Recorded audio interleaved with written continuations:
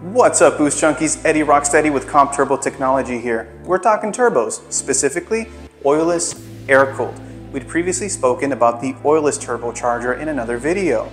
That turbocharger was water-cooled and this is the air-cooled model. The air-cooled model is a niche solution for very specific applications and in today's video we'll be explaining those differences and why you might want to consider the air-cooled turbo. Stick around, check this out.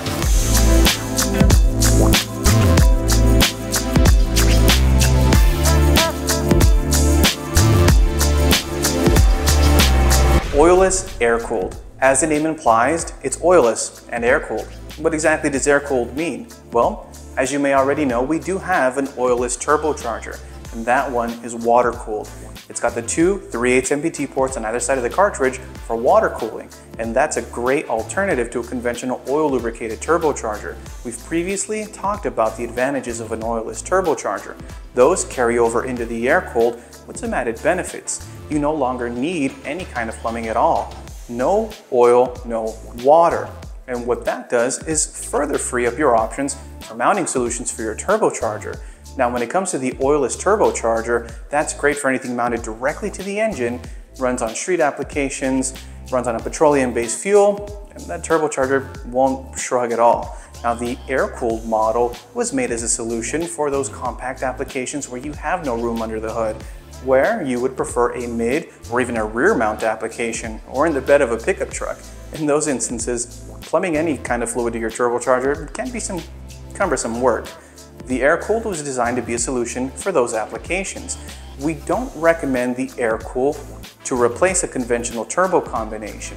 The air-cooled is instead designed specifically for these kinds of applications where it's mounted externally and has access to some ambient air to stay cool.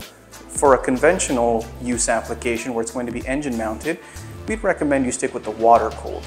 The water will maintain the temperature of the cartridge and expand the longevity of your grease.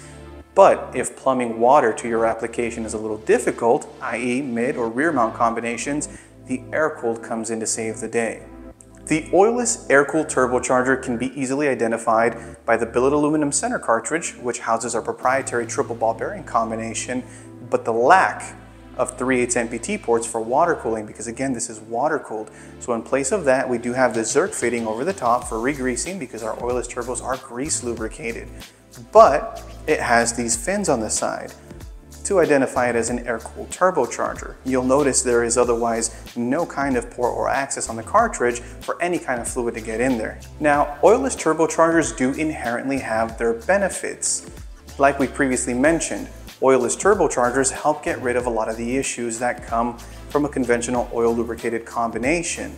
They won't leak, they won't smoke, and they give you plenty of mounting options as well. Sometimes your oil carries material like piston and bearing ring material that'll eventually eat away at your rotating assembly, opening up the clearances and causing leaking and smoking issues. For our racers, if you ever blow your engine, a lot of that material winds up inside of the turbocharger and can completely destroy your turbocharger. In an oilless application, that's no longer the case. As long as you keep up with maintenance, the lifespan of the turbocharger is indefinite. We recommend, for most typical applications, regreasing your turbocharger every 3,000 miles.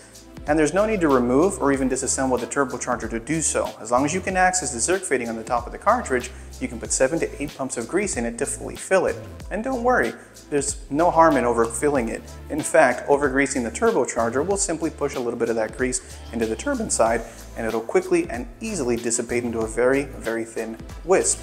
The only harm comes in undergreasing it. So we recommend 7 to 8 pumps of grease every time you fill it to ensure that it is in fact full. Now the air-cooled turbocharger does again differ from our conventional water-cooled option in that it needs no plumbing at all. So you can mount it underneath the vehicle, behind the vehicle, or even in the bed of a pickup truck. These mounting options are a little more niche and if you need help deciding as to whether or not one would work better for you, you're welcome to call in at any time and we'll happily answer any and all questions for you and help you decide which turbocharger works best for you the air-cooled combination is available for any and every turbo combination that we offer, any size and any turbine housing combination as well, T2 to T6 and V-band in a few different sizes. Again, don't hesitate to call in. I'm Eddie Rocksteady and I'll happily help you out.